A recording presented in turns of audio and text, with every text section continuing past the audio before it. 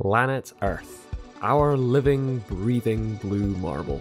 It is the home to over 15 million species, and as far as we know, is the only place that houses life in the universe. However, due to climate change, the delicate balance that we rely on to live in harmony is coming to a crucial tipping point.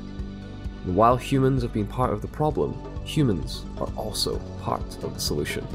Join us online in the second part of Our World, Our Impact as we investigate the science behind climate change.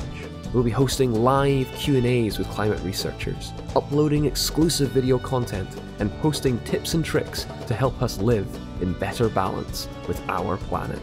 Log on to the Our World, Our Impact Hub and let Glasgow Science Centre be your ticket to COP26.